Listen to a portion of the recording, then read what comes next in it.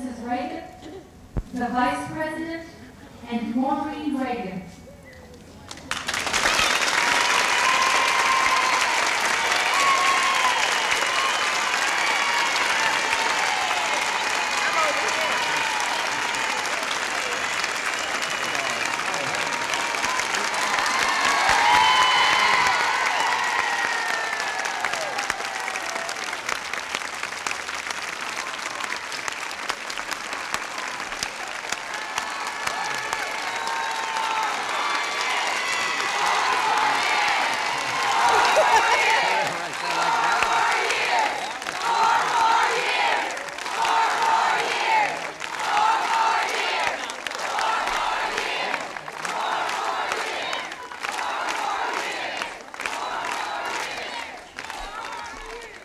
Ladies.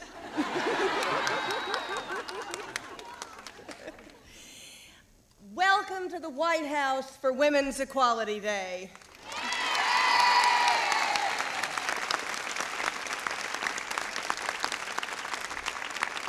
This, this 64th anniversary of women's suffrage is the day, August 26th of every year, that we celebrate Women's Equality Day. And I can tell you over the years, I've celebrated it in a lot of different places, celebrating the accomplishments of many different groups of women, from women serving in the military to women in large corporations to community action groups. And this is really exciting to be celebrating your accomplishments today. You're great.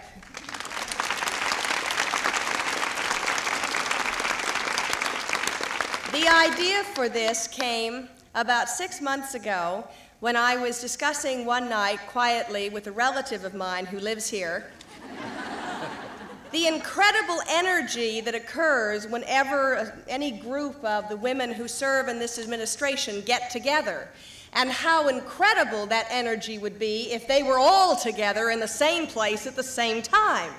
And he said, What about the South Lawn? and here we are.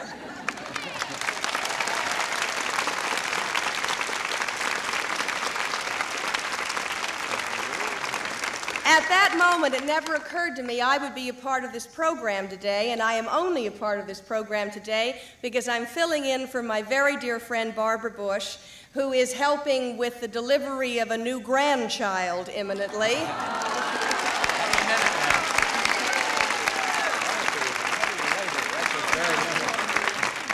And so I have the profound honor to introduce to you today the Vice President of the United States, George Bush.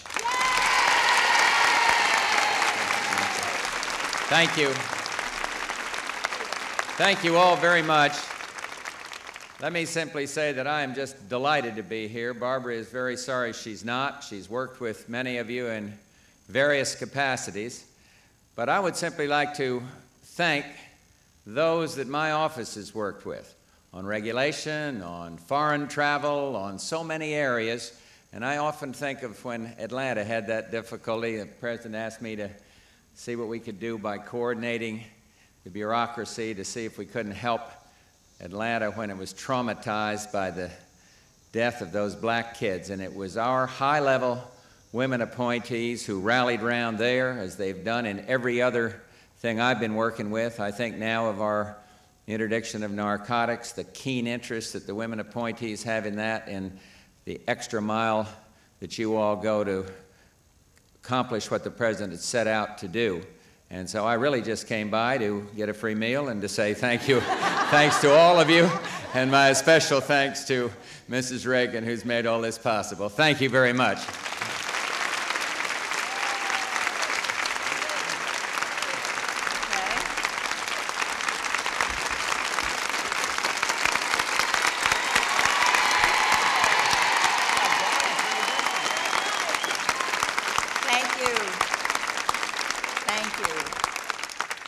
I'd like to extend my warmest welcome to you also.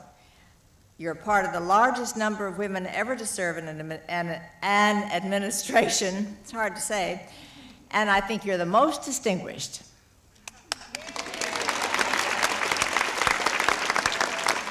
Now, we all know that behind every successful woman, there's a man. So it's my honor to present to you the man behind our individual and collective successes, the President of the United States.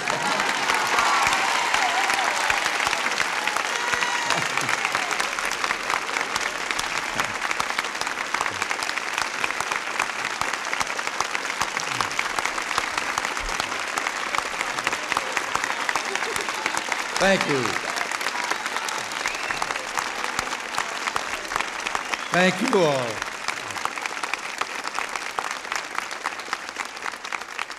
Thank you and welcome to the White House. I want to thank each one of you for joining us here today, and I want all of you to know how grateful I am, as George expressed it so well, me too, for all that you've meant and all your contributions to our administration. Now, I know it's a little warm and I know it's August, and here we are, and that reminds me of a sweltering hot day in my boyhood uh, on a Sunday morning going to church, and the preacher handled the situation very well. He said, I am going to preach because of the heat the shortest sermon you've ever heard. And he said just seven words If you think it's hot now, wait. No, I'll follow his example. I'll do a little more than seven words, but I'll try to keep it short. Today, on this Women's Equality Day, we remember the history of women in America. We celebrate all the gains that women have made. During our early years, women cooked, cleared fields, harvested crops, raised the children who would go on to make us the greatest nation on earth. Yet, while in those early difficult days, women were partners in hard work, in many other respects, their value and dignity was ignored. In many states, it was difficult for women to get a public education. In the working world, women were prevented from holding most jobs. Worst of all, women were denied our most fundamental right the democratic right to vote. As America became a more mature and thoughtful nation, all this began to change. The suffrage movement at the turn of the century had a profound effect. World War II broke down many of the barriers that women used or used to confront in the workplace. And the 1960s gave rise to a women's movement that has made all of us aware of the rightful role of women in our society a role that includes full access to the professions and complete equality before the law. We still have a long way to go, but already American women are finding opportunities that their forebears never dreamed of. Today, two thirds of women between 25 and 44 work in paid positions. Half our college students are women, and growing numbers of women are doctors, lawyers, police, and military officers. You know, I can't help thinking that women like you, women who have accepted the burdens of government service and worked so successfully to give our country a new birth of freedom and vitality, show clearly just how much American women can accomplish. For example, take a certain woman, I think her name is Maureen. Uh, Maureen's worked in radio and television. She's promoted overseas trade, has run for political office, and today she's helping her own man communicate to women all that our administration is trying to accomplish.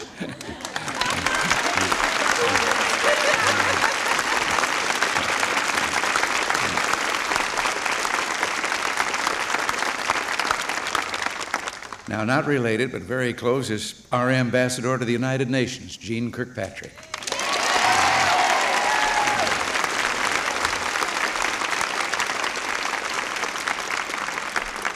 Ambassador Kirkpatrick has raised three sons, written five books, and holds a professorship at Georgetown University. And in her own words, let me quote My experience demonstrates to my satisfaction that it is both possible and feasible for women in our times to successfully combine traditional and professional roles. All that is required is a little luck and a lot of work.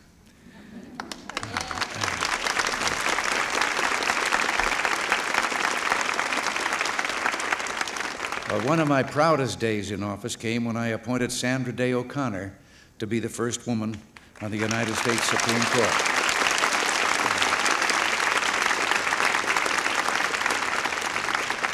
And she too illustrates all that the modern American woman can achieve. Justice O'Connor has brought up three sons, pursued a brilliant legal career that has ranged from private practice to service as the Assistant Attorney General of Arizona. Today, she's setting an example for all our daughters as one of the highest ranking women in American history. Because of the sweeping and exciting social changes our country has undergone, it no longer makes sense to talk about a great divide between women and men. There.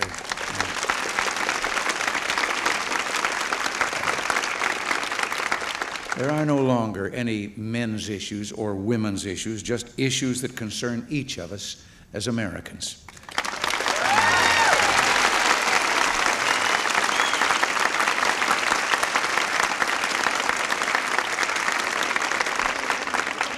That's why it's our policy to benefit all Americans, and to do so not by raising taxes or multiplying regulations or fattening the federal bureaucracy, but by promoting economic growth. Growth is good for everybody. And tomorrow morning, I can't tell you the details, it isn't fair. Tomorrow morning, there will be some information that will be released with regard to our growth in our economy. And believe me, it will be continued good news.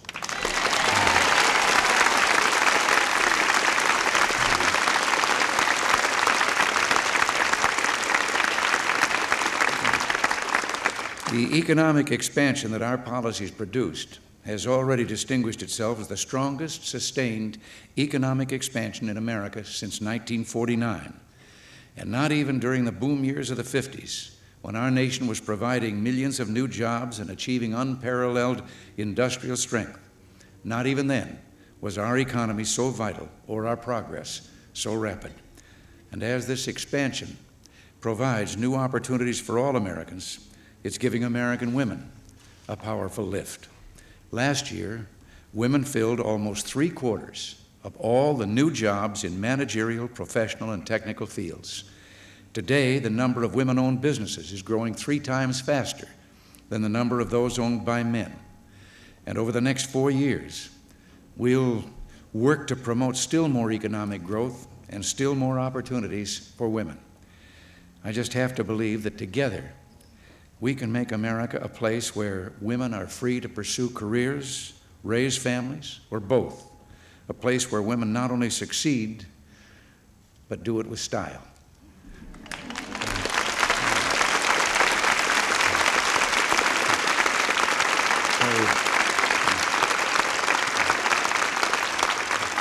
You're probably wondering why I didn't stop at seven words, but I couldn't get in all I wanted to say if I had.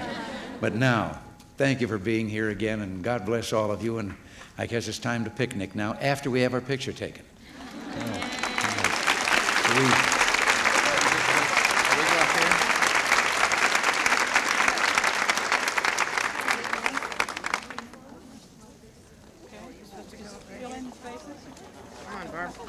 No, I can't get.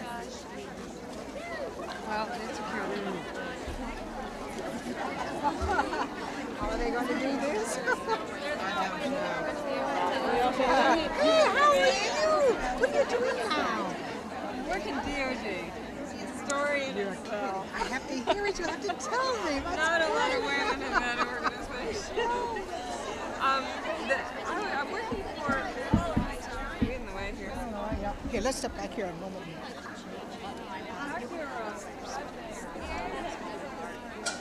Oh, I'm sorry. Sure. Forgive me. What'd you see?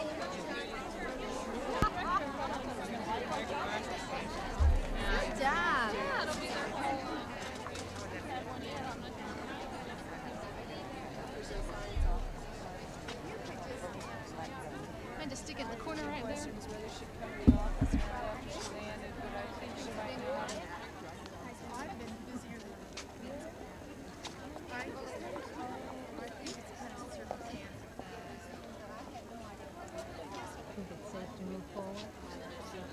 It will be crushed by the crowd. On top of everything else that's happening. timed it right. Unless your aim is to be one of those first ladies on stairs who get these roses.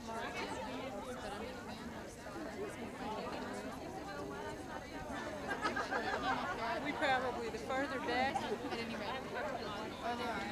The ones. Look at the He's right. Brand, I know.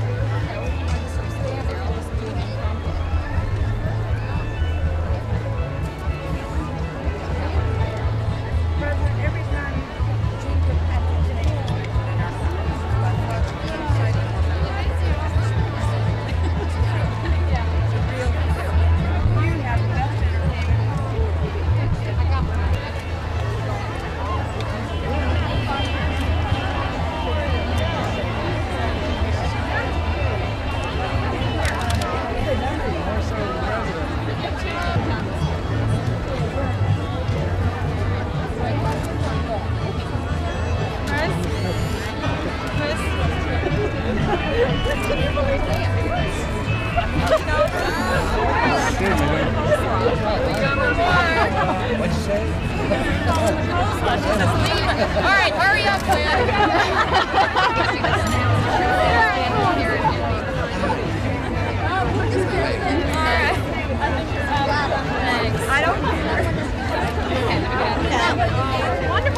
He's gonna come right through here. so you don't have to move out of the way. Guido, you gonna bring him around? Yeah, I'll be right, right around to your, your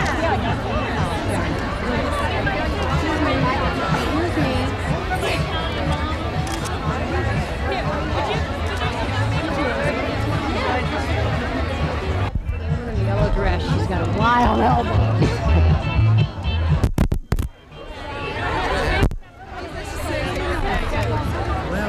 Need a pathway on- I'm bringing some more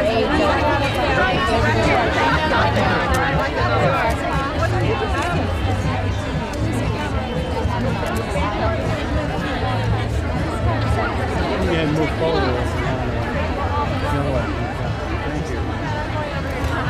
I'll let you go eat. Good luck. Hello, how are you? Nice to see you today. I'm one of the commissioners for um, Okay.